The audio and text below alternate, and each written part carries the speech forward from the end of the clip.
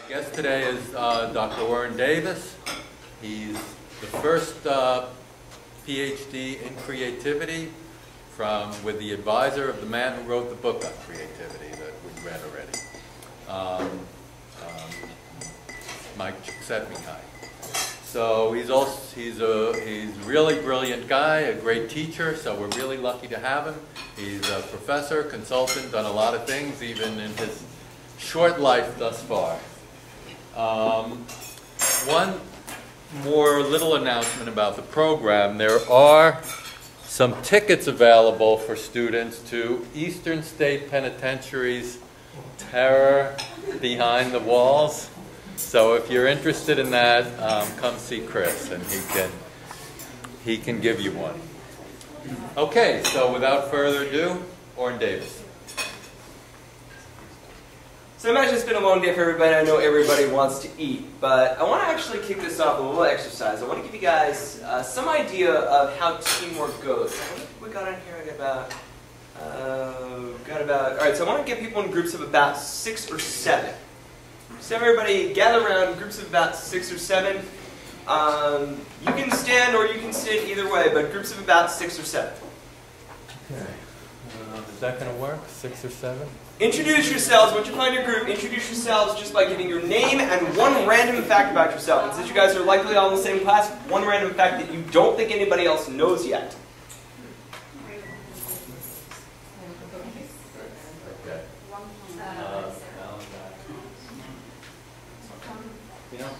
I'm sending you two back there.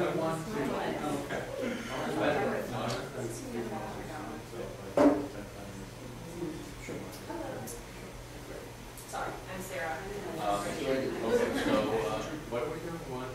Introduce ourselves the same, but that we take no one else. My name's Liz, and I'm a Michelle.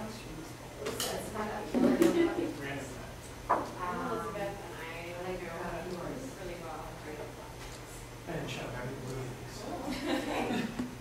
really well. Uh, Right, we are, like, great picture. I'm Sam, and I have a background studying opera. I'm Kate. Okay. And a web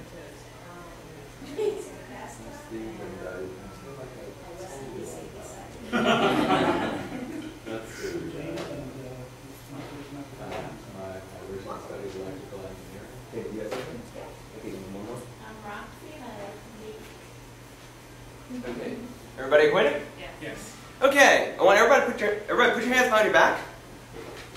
You have to keep them your hands behind your back through this entire exercise. Now, this exercise is a little bit trickier to think. All right, one latecomer, why don't you just join a group here?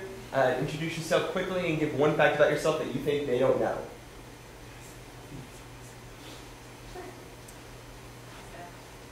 Wait, wait, give us one second to introduction. Who are you? Okay, so Did we guess? everybody acquainted?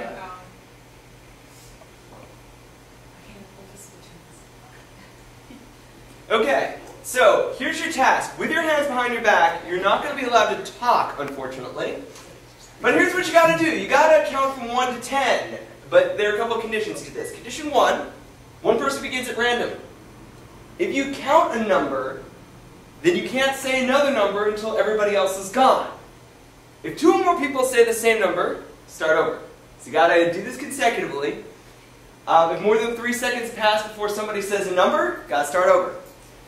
And if you say a number, the person next to you may not say the next number. This may mean that you may not be able to complete the sequence. If you discover that, you got to start again and use a different strategy. The only problem is no talking except for the numbers.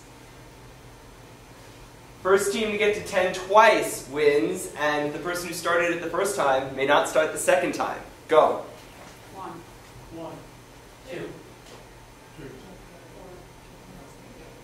three, one. Four. Six. Two. Uh, the person next to you can't sit it. Say the next number. Start again. And if I said six, I say Seven. If someone else starts. Two.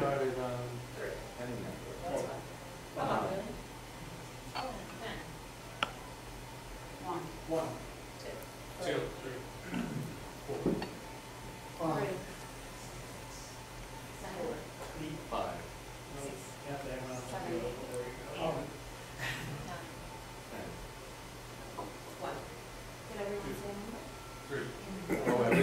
say it. Everyone has to say a number. You can't say second number until everybody said one. Oh, I think should. Okay. Okay, sorry. I forgot that one. One, One, two, three, Four, three. One. Five, two, six. seven, four, nine, ten. five. All right. One more time. You did it twice. Oh, you did twice? Yeah. This is More ten one, creative. you guys. All right. More innovative fruit beer. You did the reward meeting again, right? Uh, yeah. See what All right, they won. We're already done. Were you, were you close? Is There were a bunch? Yeah? of, there were a bunch of total strangers there. So, All right, folks, have a seat. Okay, we didn't well. So one group discovered that this was pretty easy. One group discovered that this was pretty hard. So the group that found it easy, what made it easy? So that's the fact you had enough people. You had more than ten people, I think, in your group. We fell into a pattern of skipping every person, and that just lent itself to going around, and we had an odd number of people, so we didn't go to that. And also eye contact helped, like, in sort of eye contact. I'm sorry. Eye contact. Yes, you start making eye contact. Start find find some way to communicate with one another. So the team that found it difficult. What was difficult about it? Everything. Remembering the rules at first. Yes, I don't think we all really absorbed the rules. that we used. We were- Okay, so the team had difficulty, I mean, the first thing is, didn't seem clear as to what you were supposed to do or how you were supposed to do it. Almost seems like just a whole bunch of balls got thrown at you without even knowing what's going on. Or like, you, you know that you're supposed to reach this goal, but you're not quite sure how. Doesn't it sound like a lot of the management you deal with on a pretty constant basis? That's the problem we get with teamwork in business a lot of the time. You just get a whole bunch of balls thrown at you, and here's what you're supposed to do with them. Now, go ahead and get it done. Oh, by the way, there are a whole bunch of restrictions. Make sure you don't violate any of those. Go. And you have, you may not even know each other. You may just end up this ad hoc team. You didn't know you were going to get thrown together, but well, here you are. And that's what I want to address today is what do you do with that? Once you've got this ad hoc group, what are you supposed to do? Now, when we talk about teams in business, even though these are ad hoc teams, I want to at least make sure that we're all on the same page. I'm actually going to define a team. Now, the definition I use comes from Katzenbach and Smith, and they say a couple things. The first is teams are small. Mean, generally, we're not talking more than 10, 15 people. 15 would be an extremely large team, I would say. So, small groups.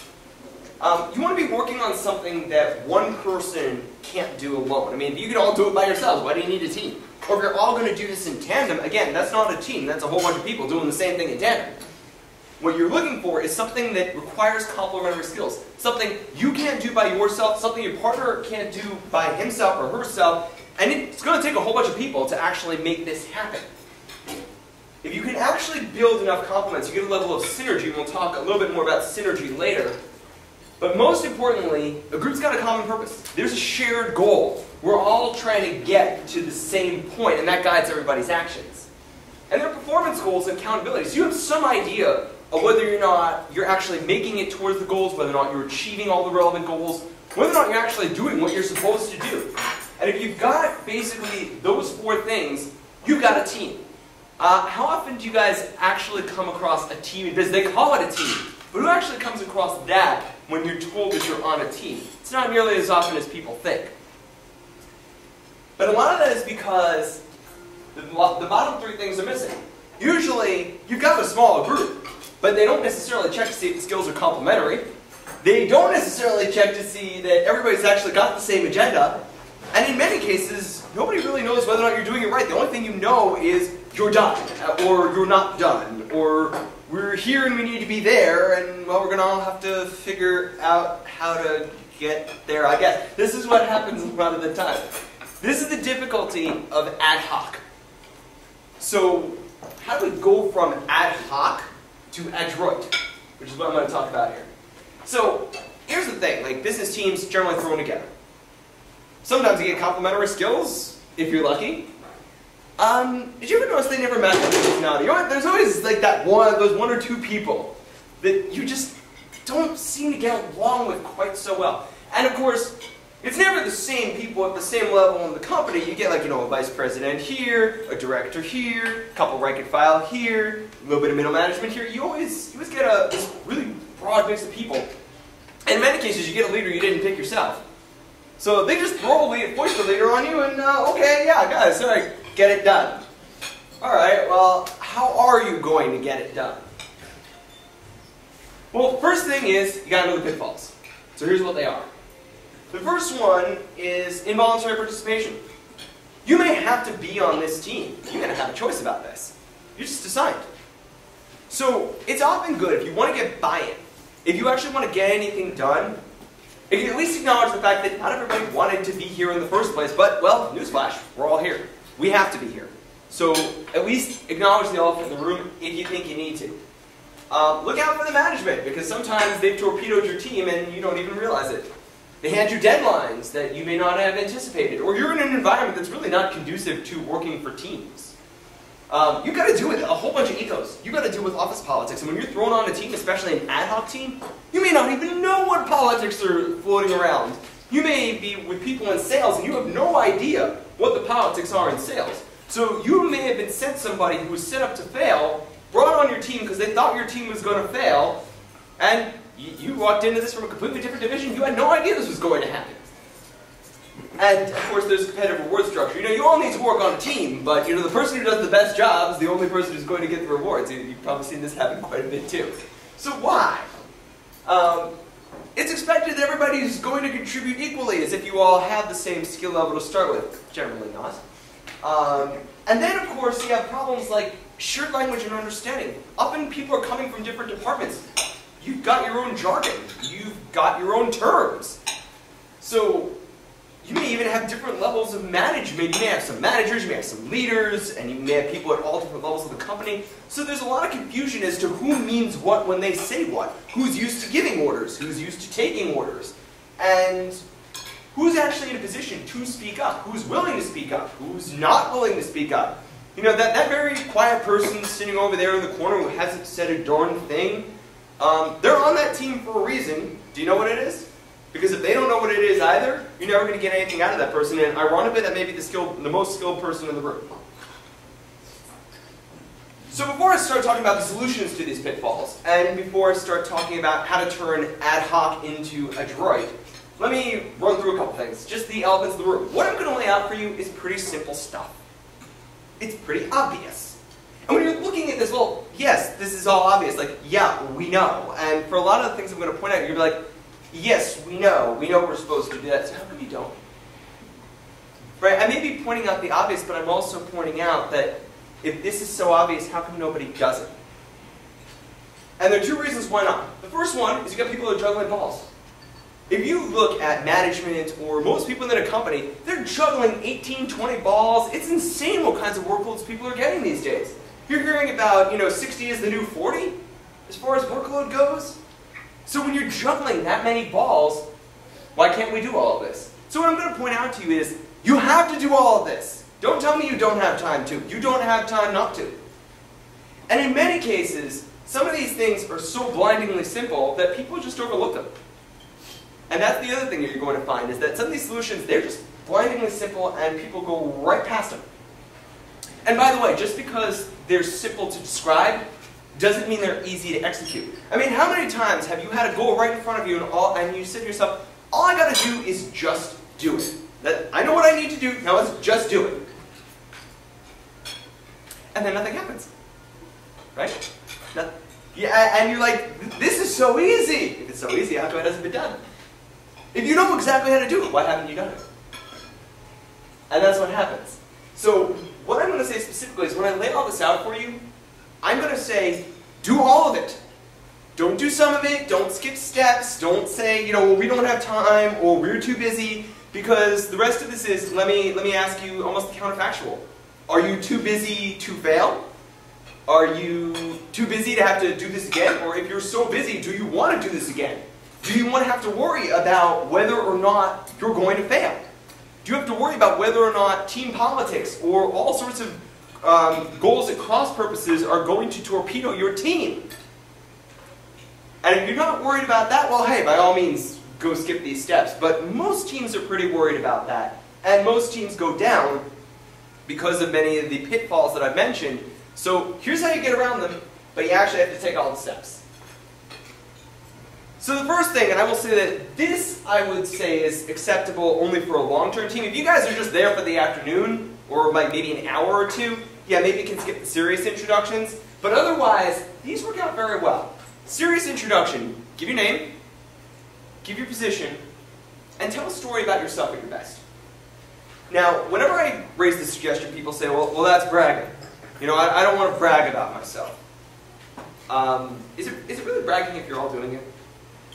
You're all trying to get up to a level, and in a certain sense, you're introducing yourself with your values, with the things that you care about. And you're going to learn a lot about people, about how they define their best. And that'll help you to work with them. Because in a very real sense, you're understanding what they value, what they aim for, what kinds of goals they have. Remember, if you have to work with this person, you're going to have to build shared goals with each and every one of those people. Probably a good idea to get to know how they think, how they operate, what are they up to. And like I said, when you're all telling these stories, you're not bragging because you're all showing yourselves at your best. So there's a collective best that's being established here. And I think that the most amazing thing, whenever I have people do serious introductions, I think the thing that amazes everybody is the level of awesomeness in the room. In all seriousness, when, and I, have seen this, you know, I even do this in some of my classes where, where I lecture, and I've had people give serious introductions. You work with amazing people, and you never knew it. And as you start sharing these stories, especially when people give really good serious introductions that really tell you something about themselves, you walk out of that room, you know, after your first session like, oh my god, I never knew I worked with such incredible people. So build that, and as you build that, you're also building a degree of mutual respect. Because when you're all walking out of there saying, I work with some incredible people, it's very hard to look down your nose at somebody that you think is incredible. And it's very hard to get on somebody's case if they're not performing at the level that you were hoping when you know how incredible that person is from the get-go. So it builds familiarity, it builds respect, it actually builds credibility, and it actually gets the team, to a certain degree, on the same page. And like I said, if you've got an hour or two, you don't have time for this. But most teams do not convene for only an hour or two. Establish the goals. Again, this is one of those deceptively simple things. What are we here to do? And yet, as I point out, just from that number exercise, that's not so simple, is it? I mean, nominally, all you had to do was count to 10. So you say, that's the goal. That's not the goal. It's, the goal was not to count to 10. The goal was to count to 10 within the restrictions you were given. And you had to know what those restrictions were. What were all the parameters? That wasn't clear to everybody. In, in one of the teams, that wasn't clear to everybody. And when it's not clear to everybody, notice that one of the teams didn't actually meet the goal because it wasn't clear. And if I asked you from the get-go, is that a clear goal? If I ask, if I ask teams, what is the goal here? Generally the answer I get is, count from 1 to 10. See, we can all establish goals. This is what happens. We establish goals by saying everybody has to count to one to from 1 to 10. In other cases, by the way, you see people establishing goals with lots of jargon. So maybe half the team understands what the goal is, but the other half of the team doesn't. So there's, there's actually a heck of a lot of confusion and a surprising amount of confusion about what the team's goal is. So it's actually worthwhile to make sure that everybody understands exactly what the goal is, exactly what the parameters are. And you'll be surprised as you go around the room, just to make sure that everybody understands the goal, you will be surprised how many times people don't actually agree on what the team's there to do and how we're supposed to do it, and how we're going to hold each other accountable to, for how we're going to do it. All of this stuff, not in agreement. And if your conception of the goal is different from somebody else's conception of the goal, then person A is working toward one thing, you're working towards something else, and you can imagine what happens when this is 10 people, each of whom has a different idea of the goal, or even if there are just six different ideas of the goal among 10 people or even three different ideas of the goal among 10 people, you're still not all working toward the same thing. You just think you are. And that's when things start going wrong. And have you ever noticed that when things go wrong in a group, you say, well, but we're supposed to do this, no, we're supposed to do that, no, we're supposed to do this, we're supposed to do that. Question. Does it question? Do you, do you want questions? Yeah, I don't mind questions. Yeah, I mean, especially for creativity, sometimes the goals are not all that, you know, clear, or at least that, you can't make them that explicit, like, for example, a jazz band. You know, it's very, very clear, I, I, I think it's quite difficult to make that exactly clear. But even in jazz, you've got certain parameters that are there and that are established by the group. You have the instruments that are there, so you know which instruments are there. You know roughly, you generally don't just get up and play with a jazz ensemble, you usually practice together, so you have some knowledge. Right. Of the people you've been working with. though, about the goal in particular, you know, clear, a clear goal, that seems kind of difficult. It can be, and when you're trying to be creative, you may want to leave some room for creating the goal. But just for example, if you want to say that the goal was to reinvent the wheel, there's a lot of room for that. Reinvent the wheel. And in many cases, you have to get together and define the problem. And in some cases, what you may say is our first goal is actually to define what our problem is. So how are we going to define the problem? Really, we don't need to reinvent the wheel. We need to invent a better means of transportation that works with magnets. No, that's not really our goal. We need to get, we need to know how to get from point A to point B with point A and point B being close together as, you know, as our goal. And so in that back and forth, maybe you're, maybe you're actually defining the problem, and once you've got a problem, then the problem becomes the goal. Or defining the problem becomes the goal, and everybody's working on defining the problem. So, I don't know if that covers your question. Because I, I would say that there's a difference between defining the problem and establishing a goal. Because a goal could be to define a problem, or a goal could be to set parameters.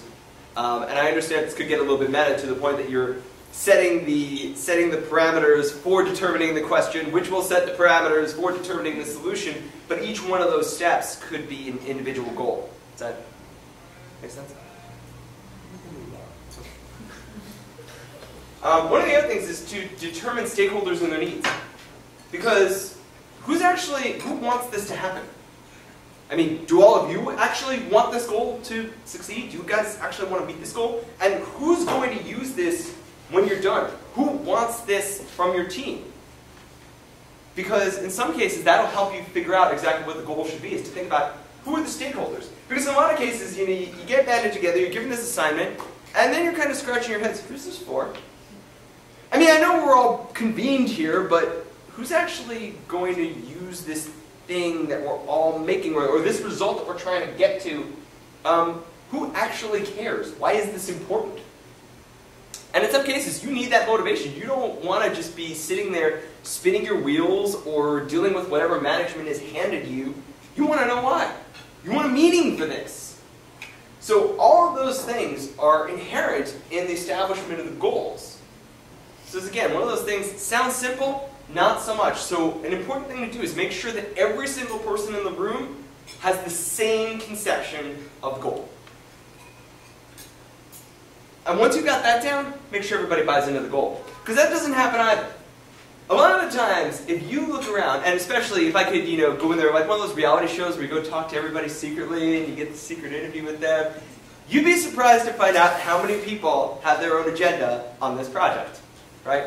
They come in there and they say, yeah, I understand what the goal is. I've also got my own goal. I've got my own personal agenda that I'm not telling anybody about, and, right? You ever seen this? And you encounter this midway through the project, right? Somewhere, somewhere along the lines of the project, you discover somebody else has an agenda. And they've got their own reasons for doing this, or they're trying to accomplish something completely independent with this. You need to find out what that is immediately. Do not wait until you're midway through the project to discover, oh, somebody else has an agenda here. You do not want that happening. So find out if there are other agendas. And make sure that those are aligned with the group. And there are ways to do that. Because you can find out what each person's individual goals are and find out how those contribute to the group goal. Now you say, well, if people have their own agendas, they're not going to want to admit it. Right? This is the point you've got to make to them. If one, if one of us fails, we all fail. And if we all fail, you fail. So if we don't achieve our goal, you don't achieve your goal. And there is almost, I hate to, I hate to discuss even implied threats, but it's sort of a matter of if you torpedo us, you're going down with the ship. So play nice because you're going to go down too if you, if you make a problem. And this is when everybody realizes that they've got to speak up because we are all in the same boat. And that's something that you've got to very clearly establish for the group. We're all in this boat together. So if anybody tries sabotage, whoever does it goes right down with us. On the flip side, if everybody's working to make this happen, we can all get what we want. That also means, incidentally, that if you find a competitive reward structure, get rid of it and fire with both barrels. No competitive reward structures at all. Either we all win as a team, or we all lose as a team, but if there's a competitive reward structure in place, forget it. People are going to have their own agenda, and look, you know, at that point, don't try pretending this is a team. This is every man for himself, and so you might as well acknowledge that elephant in the room. If you want teamwork, we win as a team, or we lose as a team. That's it. And to tell you the truth, it doesn't matter how many stars you have on a team. If the score, if the team still has the lower score, that team still loses. So everybody put in, everybody understand, whatever your goals are, feel free to admit to them. We, we can all try and work together to make sure that everybody wins, both individually and as a team. You absolutely have to make that alignment of everybody's individual goals with the team. One of the reasons why this works is because, again, people have got egos. And when you're dealing with people that have egos on a team, one of the reasons why they've got that ego that, is that they've got their own agenda. And most of the time, you find that egos, they've, they've got their own agenda. And part of the reason you're seeing all that ego is the agenda. The agenda that that individual has. And especially if they're not willing to admit to it, that's when you know you got to work. So make sure that it's clear to everybody that we're all in the same boat, we've all got to accomplish this, and we can make you a winner. Like if, the, if there's a particular way in which you want to win for yourself, let's see if we can include that. Let's see if we can make that happen for you right along with the rest of us winning. That sounds good. And it's especially good when you can get into a mutual back scrubbing round of like, you know, well, this person's going to scrub that person's back, this person's going to scrub that person's back, and everybody's back's getting scrubbed. Oh, and by the way, we're all going to pull this off anyway. And if we and if we've got this all going, it's this great little group of everybody wins. But it's important to realize everybody wins or nobody wins. Keep the talent happy. This is very important because people come in there, it's an ad hocracy, and everybody's got their own skills. Well, what are those skills? You know, take inventory. And in many cases, people do take inventory, but they take the most cursory inventory. What are you here to do? That's not the question. That is absolutely not the question. The question is not, what are you here to do? The question is, what can you do? There's a big difference between the two, and often a world of difference between the two. Because if you just come in and do exactly what you're assigned to do, could end up having to do things that are outside of your skill set, or things that you're not as good at as somebody else in the room. Not only that, you may end up doing things that you don't really enjoy doing. So here you are, you're stuck with a whole bunch of tasks that you don't like to do, you're not particularly good at doing, or certainly you're not the best person in the room to be doing it. And meantime, somebody else probably has the same issue. Wouldn't it be great if you two would just switch? So when you take inventory, find out what can everybody do? What does everybody want to do? Who's good at what? And for that matter, who's willing to work on what? And make sure that you've got a complementary skill set. Make sure you've actually got on this team all the skills that you need to get this done. Because the last thing you want to find out is that there's a week before the deadline, and uh, oh darn, we're missing some skills on this team because oh, nobody knows how to do that. Uh, hey, management, could you get us somebody? No, everybody's tied up. Now what are you going to do? So you actually have to think about this all in advance. When you take that inventory and actually take the inventory, and this taking the inventory actually covers you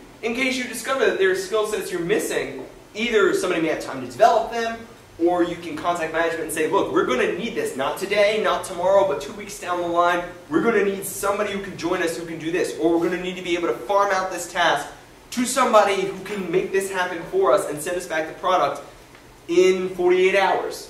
or over the weekend? Can you set us up with, uh, with something like that? And incidentally, that's a lot of what management and leadership on teams is for, is actually running all the interference and interfacing with the rest of the organization. Probably get to that during the class as opposed to uh, just the standard talk. And once again, going back to the idea that everybody wins, this has got to be something that is meaningful and beneficial to everybody. Now, a lot of times people end up on the work team and they're going, oh darn, I'm here and I don't really want to be here. I'm, I want to be somewhere else. I want to be doing something else. And they don't, and, and they're just like beside themselves, and half the time they're keeping that to themselves. So you don't even know. And it's those things that you don't know that can end up exploding partway through the teamwork.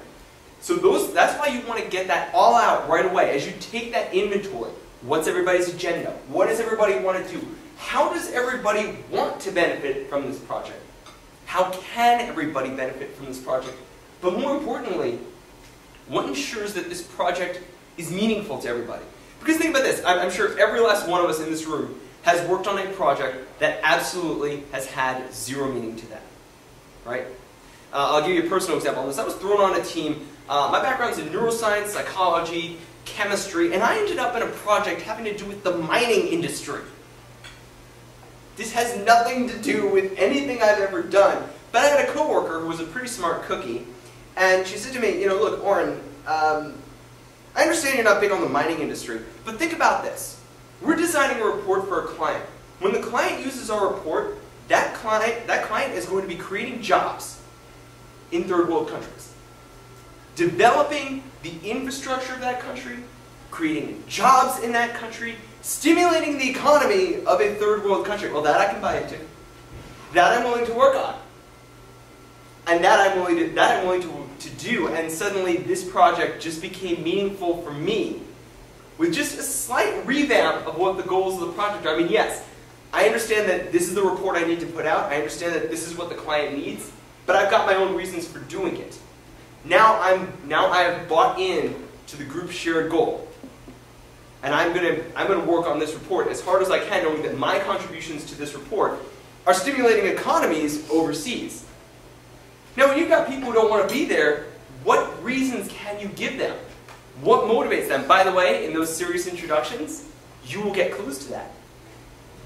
As you listen to people talk, you get a sense of their values, what's meaningful to them, and that can help you reframe the project for people that have not bought in immediately, for people that don't feel like they get it or they feel like they really want in on this right away. That reframing helps a lot.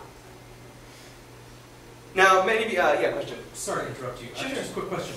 Chronologically speaking, do you think this would be more beneficial at the front end to perhaps waylay some of the internal politics that you're discussing, some of the more personal goal type aggression that you're describing? Do you think it would be better to establish this meaningful benefit prior to It can be. It can be, but it may also depend on like who's going to need to use which skill sets. So you may discover that you know one person on a team is the only person with the skill set that we need, but that person doesn't really want to do this, or that person hasn't really bought in. But you don't find this out until you get to the skill sets. So these things certainly overlap with one another, and you could probably do these in general in any in any order that you know makes sense. But you certainly have to go through all of them. So is that, is that covered? You certainly have to go through all of them, not necessarily in that order. Now, many of you may have heard of Amabile and Kramer's progress principle. The idea is that some of the best engagement at work comes when we make progress. We need to know that we're moving forward. We need to know that we're actually getting somewhere.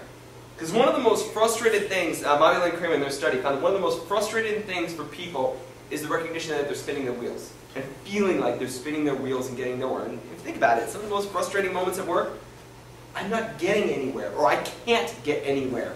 Or the path forward is blocked, I can't make progress.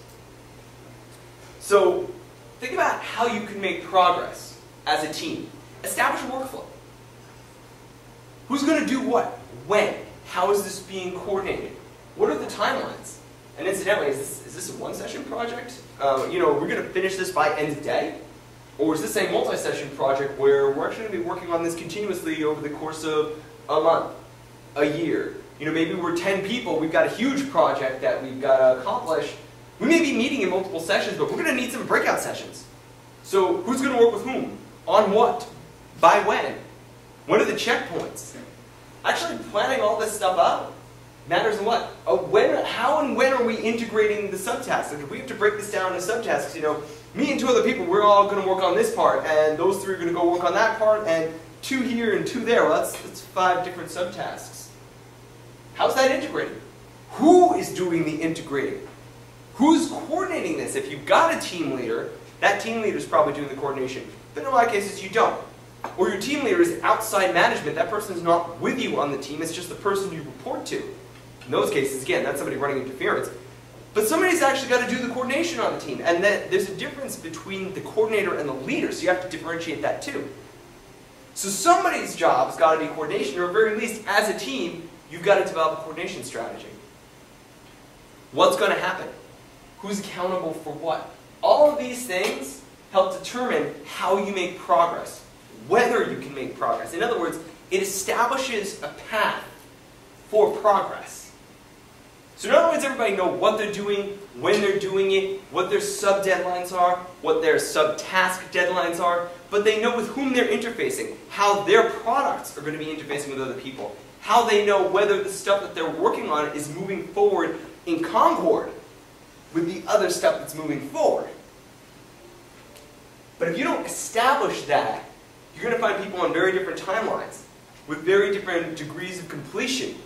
And people are going to be sitting there uncertain as to what's supposed to be happening. Or, you know, we're, at, we're, on, we're on pace with this project, but they're not. And uh, now what are we going to do? We're going to sit and twiddle our thumbs for a week. Oh dear, this is frustrating, right? And this is when frustration starts to build up. This is when fights start to happen. This is when politics starts to kick in, right? Any number of failings or any number of places where communication, coordination can break down.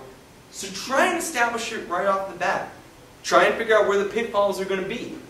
That, you know, this team is probably going to finish well before any other teams. So what are they going to do? How are they going to interface with the other teams? Maybe they should slow down. Maybe they have to be working on other things. Again, you can figure that all out early on to make sure that there's a clear path to progress at all times. And while we're on the subject of progress, we also need to get on the subject of accountability. Because you don't just need to know what you're supposed to get done, you need to know how that's going to be measured. If you're working on something, you ever, you ever thought about this, right? Especially, this, this happens the most in performance reviews, right? When you get a performance review and you're being told, you did a good job or you did a bad job, I had no idea I was getting measured on that job. I didn't know how I was getting measured on that job. I had no idea what the parameters were for being measured on this job. Uh, and all of a sudden, I've got a number next to my name, and I have no idea what that number means. Right? And But how often does this happen in teams also, right? You have, you have to produce something and say, okay, that's good. Thanks. I, am not sure what good means here. I don't know whether I've done something right or I've done something wrong or people are happy with my performance or people are unhappy with my performance or I need to do something better or something else or I need to change this or that. How are you going to know? And you might notice that each of these things integrates with, with one another, going back to one of the questions asked earlier. Each of these things integrates with one another. But knowing whether you're doing a good job is a key part of progress. How are you going to get the feedback? How are you going to provide the feedback? Each piece has got to be good enough to fit in with the rest of what the team is producing. Again, we're all in the same boat, so we all got to be producing stuff of comparable quality. Let's define the standard. And this is especially important when you've got people at different levels, different abilities, different degrees of skill in the same room. How do you make sure that they're all accountable to a certain level? To what level should each subtask be held accountable?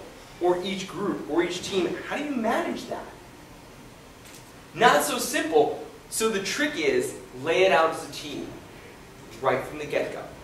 Just start with that along with the other establishment's goals, process, those sorts of things. Get it out right away. And then in general, you got to establish rules for talking the talk. I mean, egos exist. And there are going to be people on teams with egos. Get over it. You know, do not fret when you start running into egos on a team because all that's going to do is make the egos get bigger. Right? I mean, think about this, right? If you are worried about an ego, you're basically acknowledging that ego. You're effectively inflating that ego. You're basically pointing out, yep, that person's a threat. And the person who's probably is the threat is going, sweet, I'm a threat. Puffs up, right? Get over it. And everybody's got to get over it. Because whether your ego is big or small, or in the middle, or flaming, or ice, or whatever else, ship goes down, you go down with it. Project goes down, your ego isn't going to save you. So we're going to get over your ego, and you got to get over your ego because either the entire ship gets there or the entire ship doesn't. Consequently, there's got to be a commitment to listen. We're all needed here. There's no two ways about this. And it's the funniest thing for people, and it's very hard for people to accept this, that we're all needed here.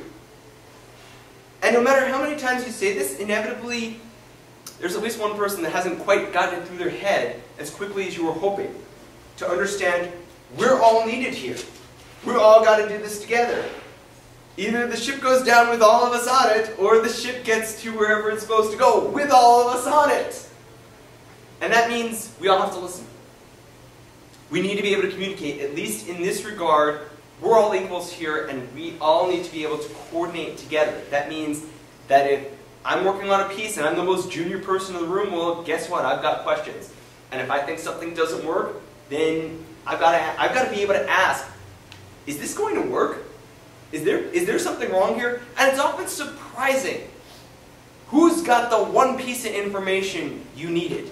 And I found again and again that teams very rarely predict correctly where there's going to be a bottleneck and who's got the key piece of information that's going to get you through it.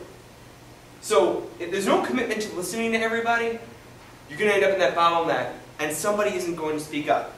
And how many times have you encountered this? Each of you, how many times have you encountered a situation where you suddenly go, My God, why didn't you say so?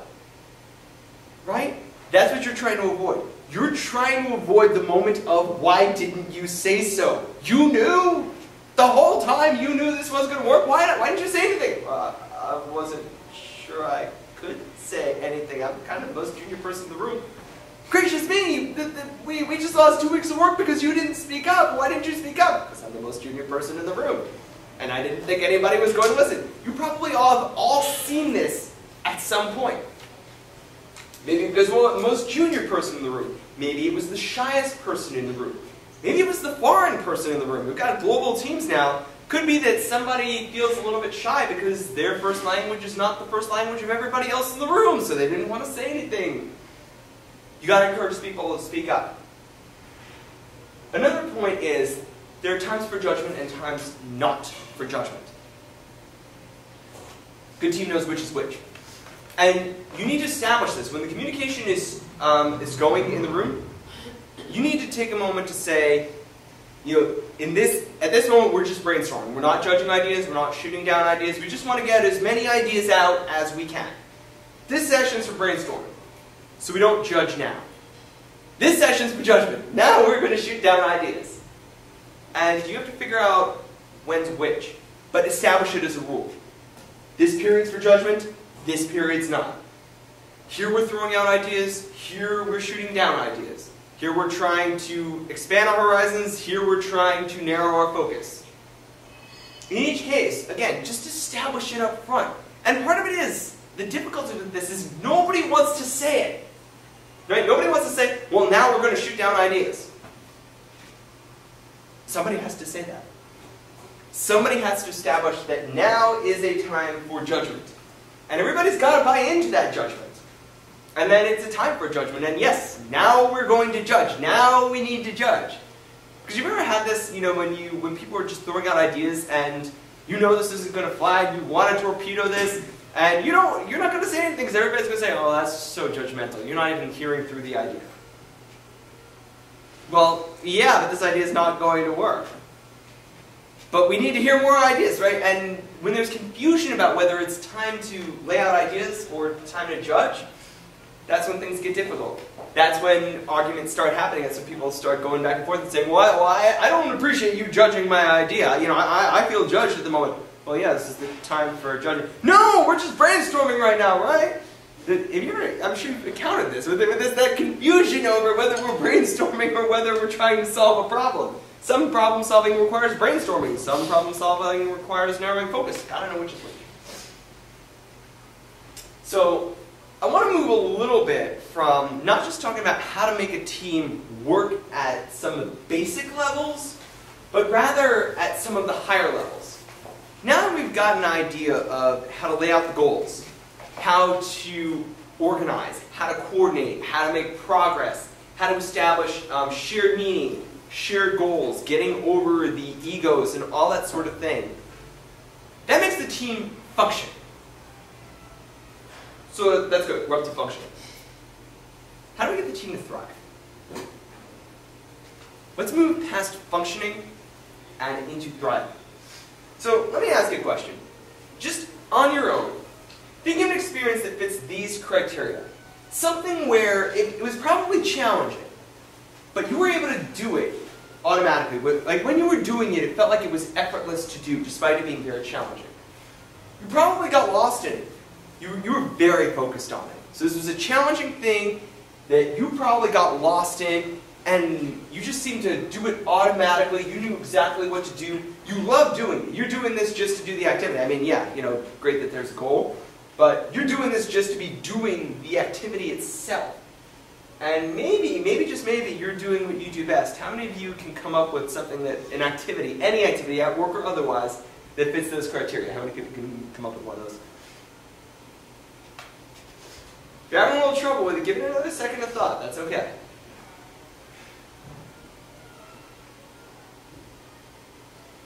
A couple more people getting some ideas on this? All right, let me ask you one more question. Was it in fact one of the most enjoyable, rewarding, and engaging experiences you ever had? For most people, when they, the activity they come up with, the answer is probably yes. That's a flow experience. So this is work actually done by my advisor, Mike Csikszentmihalyi, um, and I've done some work on this as well. A whole cadre of people doing research on flow. And what I want to suggest to you is that flow is possible at work. As a matter of fact, research shows that flow is most common and most frequent at work. And I'm going to bet, although I'm not going to ask anybody, that for at least some of you, the experience that you're thinking of happened at work. Maybe that's because you chose your profession for a particular reason, but even if not, a lot of times, flow happens at work. So why can't it happen with teams?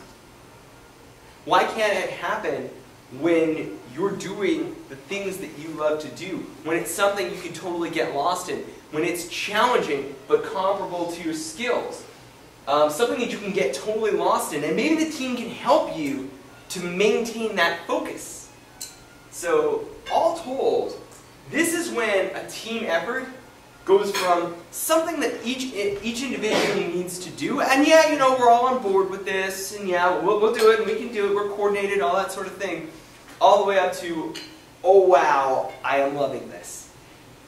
And notice that basically as you take each of the points that I've laid out, some of the points of meaning and coordination and shared goals, as you take that to the next level, that's when you know what you need to do. You know whether you're doing it right. It's something that's aligned with your capabilities. It's going to be challenging, but you're up to the challenge. And because you're aligned with the goals, because you found meaning in it, it's something you can really dive into. It's something you can really put your efforts into. And you can actually enjoy the activity since you've been assigned an activity, hopefully, that, it, that is at least in some alignment with your strengths and talents, which may be completely irrelevant from why you were there in the first place, but it aligns with your strengths and talents. Suddenly, you're able to really get involved in the activity, and you're able to do your best. And when each person is able to do their best and derive that best from the dynamic of the team, this is what Jef van den Hout and I call team flow. So let me give you an idea of what the characteristics of flow are, just so you get some sense of what we're talking about here. And as I give you these ideas and these conceptions of flow come from research by primarily by Csikszentmihalyi, think about how any given person's activity could have these characteristics. Now these first five, clear goals, immediate feedback, no fear of failure, distractions removed, a balance of challenge and skill, and I'll get into this in a little more depth in a second, we call these the external conditions. These are created by the team dynamic. And as a member of the team, you're helping to create this dynamic not just for yourself, but for the rest of the team. Now the clear goals, that's easy. We, we've discussed that already. The immediate feedback has to do partly with the accountability. Knowing whether and how you are making progress and whether or not you're doing the right stuff. Now realize you should have a sense of whether or not you're doing the right stuff, but the team can also give you some feedback, let you know, are you doing the right stuff? And that can be in accordance with the accountability guidelines that you've already set up. Now no fear, this is actually kind of important. Because there needs to be a possibility that you can fail, otherwise nobody's going to bother. Nobody bothers when they can't lose. So there's got to be a chance of it, but you've got to not worry about it. You've got to stay focused, eyes on the prize. Now think about this, you know, as a team member, when somebody's losing focus, you can kind of remind them, eyes on the prize, eyes on our goal. We know what we're after. And consequently, you're removing the distractions. I mean, think about this, right? Sometimes you get a little lost and a team member actually helps you get back on track, get back in focus, remove some distractions. And when the coordination's good, if you're having difficulty somewhere, one of the members of the team can actually remove the distraction of the difficulties for you. And in some cases, you know, you can have team members encouraging one another, kicking up a notch, put more skill into it, or alternately, you can get feedback that tells you, you know what, why don't you do something even harder than this? Pull off something better than that. You can do it. Right? And that ups the challenge to the level of skill that you've got. And in most flow experiences, the balance of challenge and skill, both the challenge level and skill level are above your personal average for challenge and skill. So for you it's challenging, but you're up to it, but it's something that you'd consider difficult. Now what happens then, if you've got those five conditions, then the internal conditions are able to show up. And these are more emergent conditions. So one of them is the merging of action and awareness. The idea being that everything you're doing, everything that is on your plate or in front of you at that moment, every action you're taking, all consistent with the activity. So everything you're aware of is simply whatever you're working on. That has to do partly with the effortlessness of the flow experience, of feeling like you're in control, like you know what you're doing, you know what you've got to do, and the only thing that's on your mind is whatever's in front of you. It's, it's a fantastic feeling. And you're not self-conscious. You're not, you know, working on a, you're not working on debugging a computer, pro, a computer program going, how's my hair? Right? You, you're not worried about that. You're not worried about whether or not your boss is going to come by and pull a drive-by meeting on you or something along those lines. All you're, all you're worried about is what you're getting done. You're not worried about whether you look good getting done. You're not worried about an audience or anybody watching you. You're simply in your own space. And you get a distorted sense of time. Now, what's funny with that, a lot of people expect that time slows down for you. But actually, in some cases, time speeds up for you. Because uh, you ever had those moments like, where did the time go? That means that time kind of sped up for, you, or it slowed down for you. The time changes in some way. And uh, you know, some of my flow experiences uh, I've gotten, you know, just from playing volleyball. You know, as I'm watching, I play defense, and I'm watching a spike come at me. And I can tell you, I know that there has to have been less than a second between when the attacker hit the ball and the time I'm touching the ball, because that ball is going pretty fast. But it sure feels like several seconds to me, because I'm tracking the entire thing. I'm watching my side of the court, I'm watching their side of the court, I'm watching the attacker, I'm watching the ball, I'm watching the angles, I'm watching the movements. And if I'm going to have to touch a ball, that means that there are several people between me and the ball. You're watching all these things, and so in a certain sense, I'm not worrying about whether it's 1001, 1002. I'm not checking my clock. And I'm not worried about who's watching me. I'm worried about what's happening in front of me. And the time can dilate or constrict, you know, accordingly. Now, autotelic is important. Autotelic comes from autotelos self-goal. In other words, you're doing it just for the sake of doing it. When I play volleyball, I mean, obviously, you know, me and my team, we're playing to win. But we're also playing to play. We want to play. We want to get in there and give it the best game we can. And that's what matters to us. And yes, our goal is to win, but winning is almost secondary to whether or not we've been able to get in there and give it the best game we can.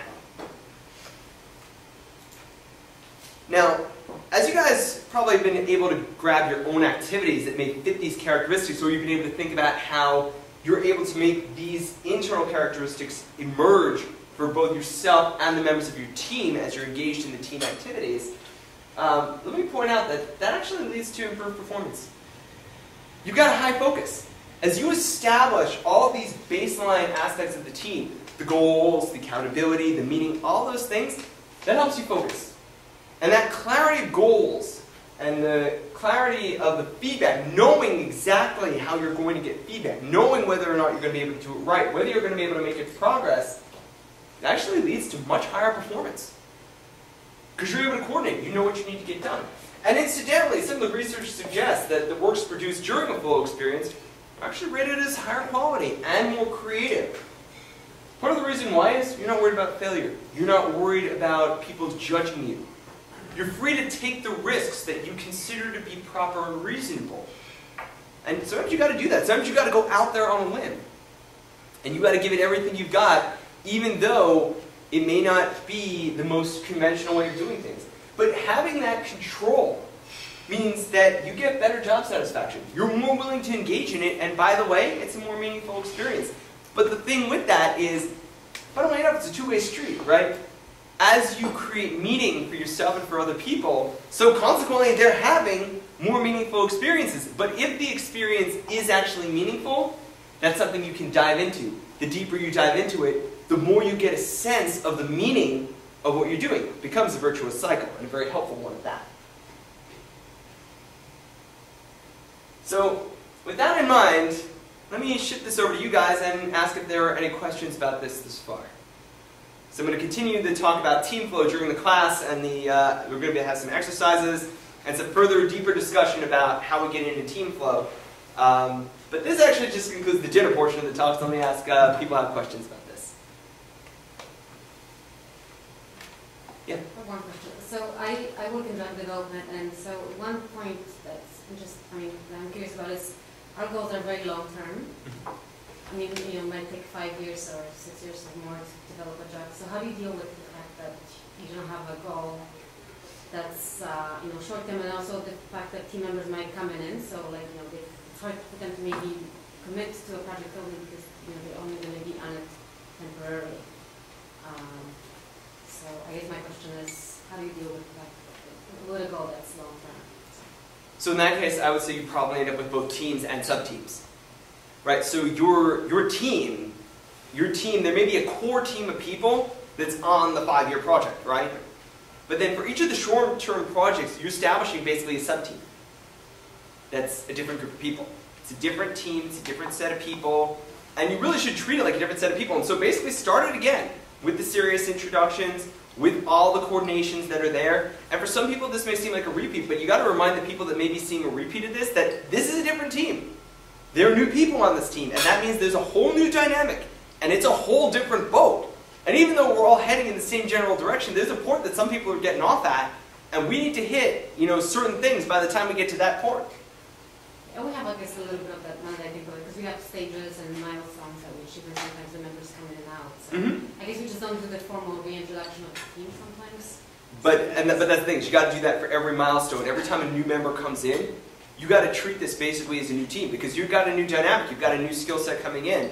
So yeah, start again. Serious introductions. This is who we are. This is what we do. And tasks may shift.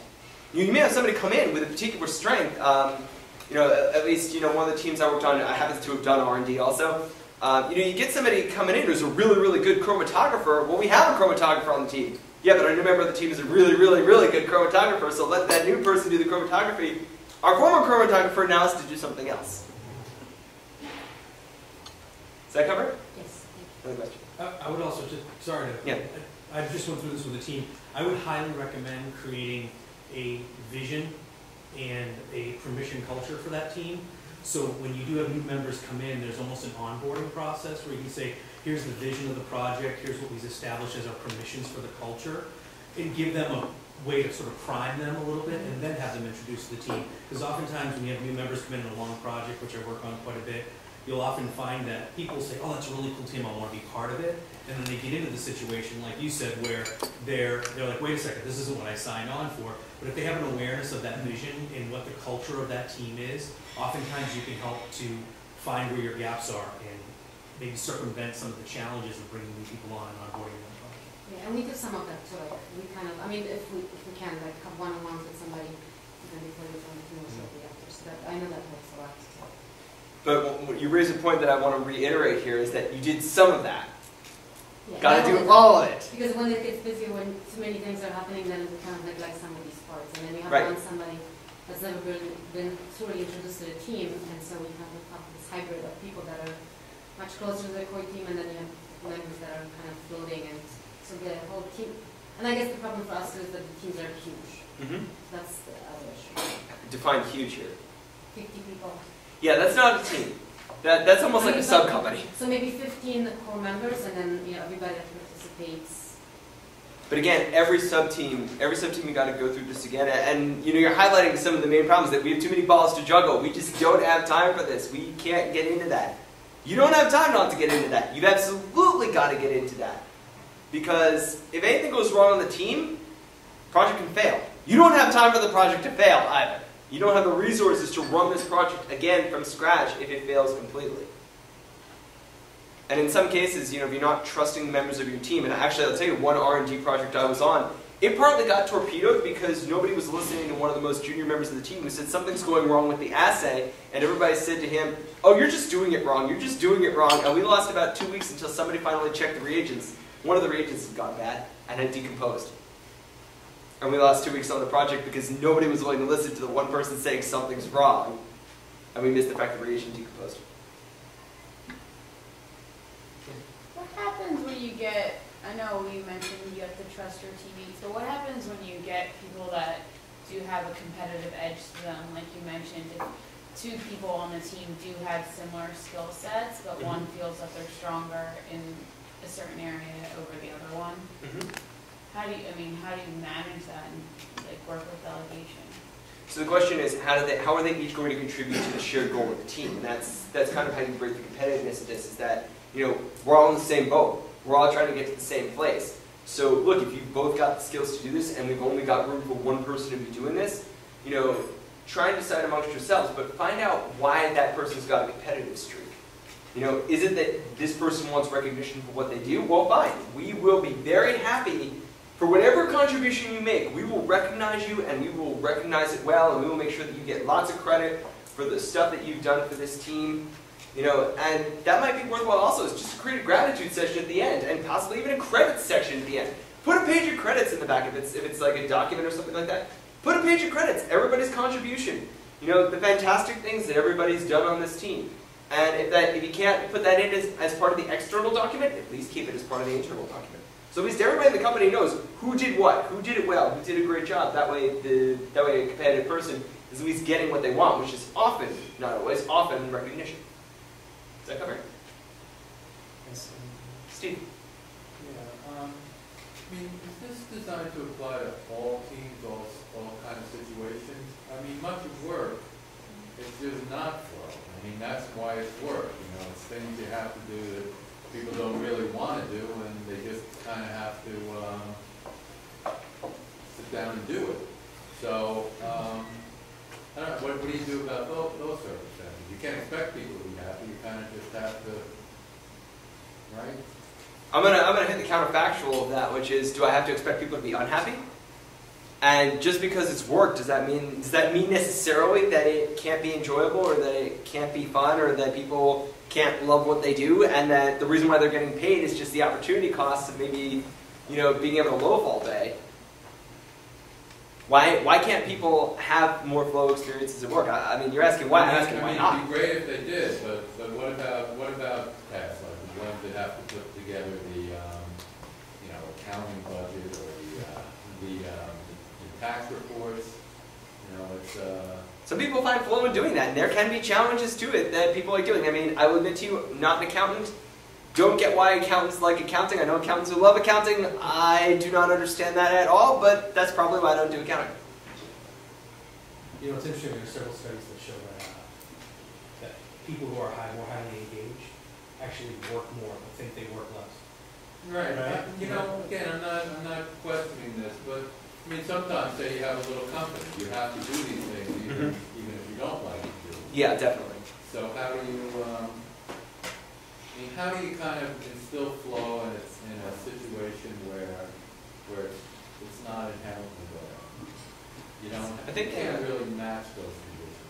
Yes, that's an interesting question. I think I think in a lot of cases flow's not inherently there, um, or at least there's no activity per se. I mean, some of my research, some of Csikszentmihalyi's research, we pretty much figured out that any activity can be a flow activity. The question is whether or not people are able to do that. Uh, in High's '97 book, Finding Flow, he pointed out that uh, there are even people in the manufacturing industry who are doing the same repetitive tasks like every single day, and they manage to gamify it for themselves. Like one, one particular case he talks about, somebody who just manages to gamify it for himself. Can I do it, you know, in, can I do this task in five seconds? And yesterday I managed to do it in 501, can I get it down to 459? And you just see people doing stuff like that.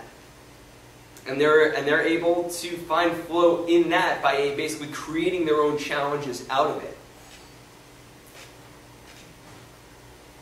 So acknowledging that everyone can find flow Mhm. and the assertion that everyone will find flow being different, what do you do on those teams when people are either unwilling or unmotivated to go that extra mile to achieve it? And how do you deal with their perhaps lack of effort or uh, as you would deem it? Mhm. So, it, when I encounter that situation, the first question I want to ask is, why aren't you in this? We, why, why Just a paycheck. just a I just want to go home and watch TV afterwards. Uh, okay, delightful, you're off the team. Well, but then that's a penalty for being honest about what my goals and motivations are from the beginning. Not necessarily, because if you didn't want to be on the team in the first place, you can go back to your cubicle. And you can go tell management you need somebody else. But in, in other cases like that, what you can say is, uh, you know, if you like your paycheck so much, you want a bigger one? You know, I, I mean, that person basically said, my motivation is my paycheck. Fine, you want a bigger one or do you want a smaller one? You torpedo this, we all go down. That means you don't get your paycheck and you may get terminated. Or if this works out well, you get a larger paycheck and you might be able to get to your television set earlier in your life if you wish to. So again, you know, even those people, they're motivated by something at least. You know, this person wants their television and they want their paycheck. Fine, hit them there. E- either way, either get them off your team or the paycheck is the game. Fine, do your best on this because you might be in a better position to get a raise if you do well on this, same as the rest of us. Does that work? Yes, thank you. Okay, perfect. Uh, A lot of what you're saying involves people being like honest and open, like people aren't really readily, gonna readily admit their agendas or something they're not good at, they, they're saying that they're good at. How do you get people to, they're not good? So the suggestion I make is we're all in the same boat here.